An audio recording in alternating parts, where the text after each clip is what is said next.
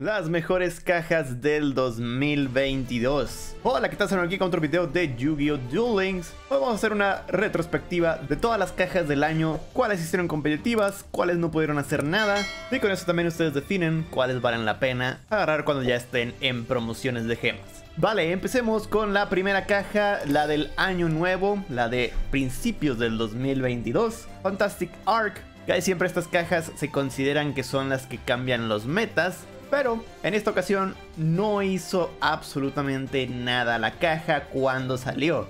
Incluía los Burning Abyss, incluía el deck de Odice con la carta de magia que busca, que era muy muy importante para el deck. Pero ninguno de los dos se pudieron posicionar bien dentro del competitivo. Tuvieron que esperar más soporte, más habilidades para poder hacer algo realmente. Y esto fue hasta finales de abril.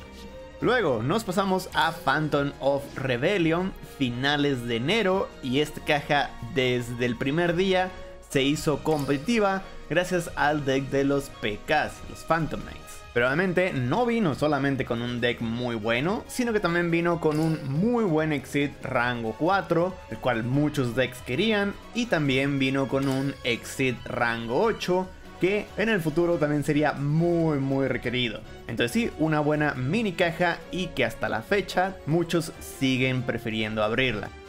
Nos pasamos entonces a finales de febrero con Maximum Gustav, el cual este sí va a ser un poquito controversial. ¿Por qué? Porque en su momento no trajo tantas cosas con la excepción de Metalfos. Metalfos siempre estuvo rascando el meta ya sea debajo de la tier list o justamente como tier 3, pero en muchas competencias sí estuvo por ahí. Entonces, más o menos. Y luego también, con todo el soporte que le sacaron a trenes durante este año, también logró rascar el meta durante un pequeño tiempo. Y bueno, obviamente también un poco de soporte para el deck de los Burning Abyss. Entonces, por eso es que se pone un poco dudosa la caja de Maximum Gustav. Ustedes digan en los comentarios qué lo que opinan de ella. Luego nos pasamos a Energy of Giga Race la cual no sacó nada interesante más que el deck de Gandora, que también trajeron una nueva habilidad, la cual hicieron que se hiciera competitivo durante un corto tiempo. Básicamente ya hoy en día no es nada buena esta cajita. Y como dije, un mes después, finales de abril, Cross Dimension, ahora sí, haciendo que los decks péndulos se hicieran competitivos. Eh, aquí también trajo eh, algunas cuantas cartas de Des. Y si no me recuerdo, también potenciaron la habilidad de los de Des. Y así haciéndolos el deck más competitivo en ese momento. Y también sacaron una habilidad para Odice con los magos Xiangxin. La cual también logró hacer que el deck fuera muy muy bueno. Y bueno, además de eso trajo una eh, staple y también un nuevo deck que básicamente nada más es una sola caja más el personaje y listo, tenías un deck decente. Entonces fue una muy buena caja en su momento. Una caja que incluso algunos siguen considerando hasta la fecha. Luego nos pasamos a Heart of Exit. Esta mini caja trajo muy buenos exits.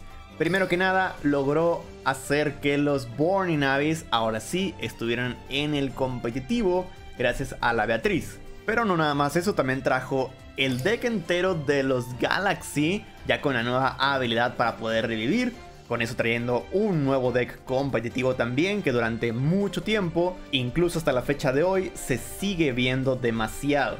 Esto gracias a ser muy barato. Y bueno, no nada más eso, también eh, los Galaxy que trajo, los Exits Galaxy, se podían combinar con el Cypher que vimos anteriormente y con eso daba muy buenas herramientas a diferentes decks como por ejemplo los de Des que podían hacer Exit 8 con el Cypher y luego evolucionar a estos, limpiar un poco más el campo. Y bueno, cualquier otro deck también que hiciera rangos 8 podía usar todas estas herramientas. Entonces, sí, muy buena caja. Aparte de que venían muy buenos exits por ahí. Vale, ahora nos pasamos a mediados de junio, bueno, finales de junio más bien, mediados de año, con la caja de Shining Sunrise. También fue muy buena en su momento, nos trajo al amanecer junto con el soldado líquido para poder hacer que los héroes fueran competitivos. Gracias a esto y a una habilidad que creo que sacaron, hubo una habilidad que sacaron justamente con esta caja, pero que en su momento no hizo nada. Y ya luego también sacaron otra habilidad poquito después, que ahora sí, ya se hizo competitivo el deck, pero fue más que nada por los golpes al meta anterior. Esos golpes dejaron pasar a este deck. Vale, Luego nos pasamos a Stars of Synchro. Esta, la verdad es que no trajo muchas cosas. Solamente trajo unas cuantos muy buenos sincros, efectivamente.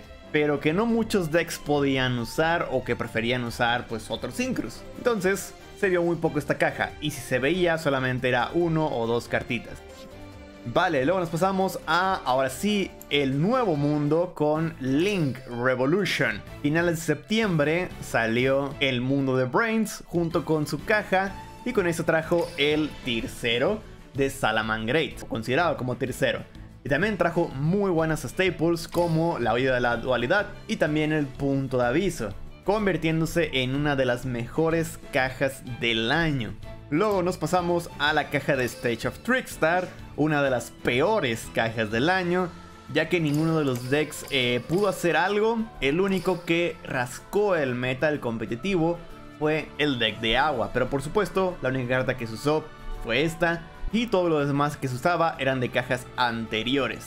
Pero bueno, para los que les gusten los decks de aguas, yo creo que sí van a tener que venirse por lo menos unas cuantas vueltas por esta caja. Y nos pasamos ahora a Braver Victory a principios de noviembre con la salida de un deck muy actual, los Meg Knights, bueno más bien un engine. Este deck actualmente es de lo más poderoso, pero no nada más trajo eso, sino también trajo a los Infernoids. Otro deck que en la actualidad se ve mucho en el competitivo. Entonces, también se posiciona como una de las mejores cajas del año, ya que una sola caja, dos decks.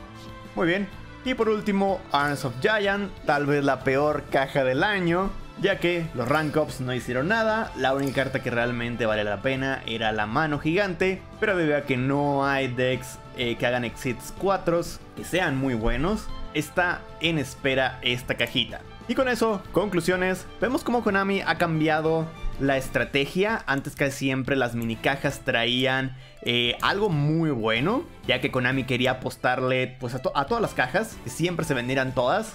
Lo podemos ver al principio del año, pero ya a partir de por acá, a mediados del año, ya las mini cajas son muy, muy malas. Nada más son soportes para anteriores decks, intentando hacer que sean competitivos, pero no logrando hacer nada. Y comparando con las cajas grandes de sus momentos, sí son muy buenas cajas grandes. Obviamente también, todas las demás cajas grandes fueron por lo menos decentes. Vale, y también de una vez voy a incluir las estructuras, ya que la verdad es que este año no valieron la pena prácticamente ninguna estructura.